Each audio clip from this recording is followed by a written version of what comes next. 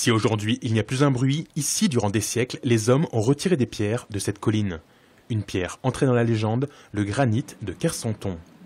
Au plus fort de son exploitation, près de 500 personnes travaillaient ici à son extraction. Dany a été le dernier sur ce terrain à l'hôpital Camfrout à exploiter le filon.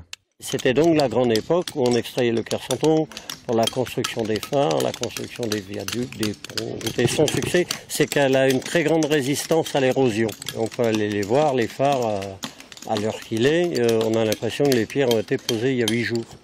Un amour pour le travail de cette pierre que chaque année depuis 12 ans, à l'occasion du week-end 15 août, Dany et les membres de son association tentent de transmettre au plus grand nombre, avec des techniques, des outils et surtout des savoir-faire qui n'ont pas bougé depuis des siècles on a tendance à enlever un peu trop, parce qu'en restant concentré sur une zone, et après on s'aperçoit que bah, euh, on, a, enlevé trop par rapport à d'autres zones. Donc il faut tout reprendre pour garder un équilibre. Richard, lui, est chargé d'encadrer les débutants. Certains sont venus avec une idée bien précise du résultat auquel ils veulent parvenir. D'autres veulent juste essayer de taper.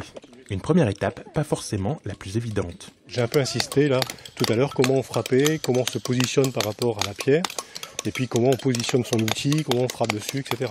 Le kersanton, c'est une pierre qui est très intéressante à travailler parce que c'est une pierre dure mais à grain fin, qui permet de faire des détails, euh, je dirais, dans la pierre. Euh, le meilleur exemple, c'est la statuaire, la statuaire bretonne. Tous les, tous les enclos etc., sont, la plupart du temps, toutes les sculptures sont réalisées en kersanton. Alice, elle, va tenter de sculpter un personnage accroupi. Mais les premiers coups de marteau sont difficiles. Rien que les outils euh, sont lourds, alors on va taper pendant trois jours. C'est la première fois que j'en fais, donc c'est vrai que je me, je me rends compte que c'est pas mal de boulot. Vous avez jusqu'à dimanche pour voir l'avancée des travaux ou vous-même tenter de les imiter, à l'occasion de ce 12e été de la pierre à l'hôpital Confroute.